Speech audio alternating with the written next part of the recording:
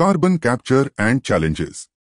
According to a latest review of scientific research, the Intergovernmental Panel on Climate Change, IPCC, found that processes like carbon dioxide removal, CDR, and carbon capture and storage, CCS, both are needed to wipe out the pollution from industries like chemical and cement.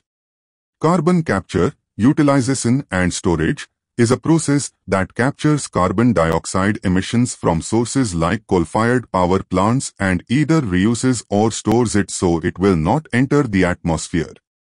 Carbon dioxide storage in geologic formations includes oil and gas reservoirs, coal seams and deep saline reservoirs, structures that have stored crude oil, natural gas, brine and carbon dioxide over millions of years.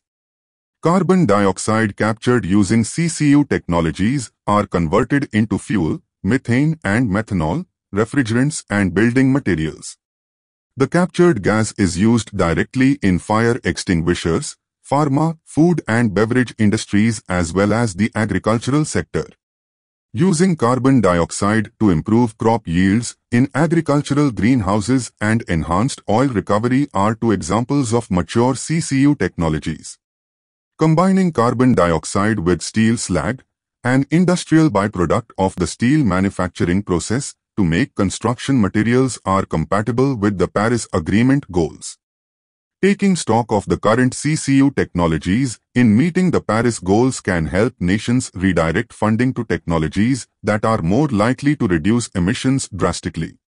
Activists have called out energy companies for failing to capture much carbon while at the same time drilling for oil and lobbying against laws to cut fossil fuel production. They have pushed policymakers to put more weight on societal shifts like cutting energy demand. CCS also gives companies fighting to burn fossil fuels access to policymakers and a social license to operate referring to public acceptance of their business model. Carbon dioxide removal, CDR, refers to approaches that remove carbon dioxide from the atmosphere. CDR encompasses a wide array of approaches, including direct air capture, DAC, coupled to durable storage, soil carbon sequestration, biomass carbon removal and storage, enhanced mineralization, ocean-based CDR, and afforestation reforestation. CDR does not refer to point source carbon capture for the fossil fuel or industrial sector. Paired with simultaneous deployment of mitigation measures and other carbon management practices, CDR is a tool to address emissions from the hardest to decarbonize sectors like agriculture and transportation and to eventually remove legacy carbon dioxide emissions from the atmosphere. Kindly like, subscribe and share.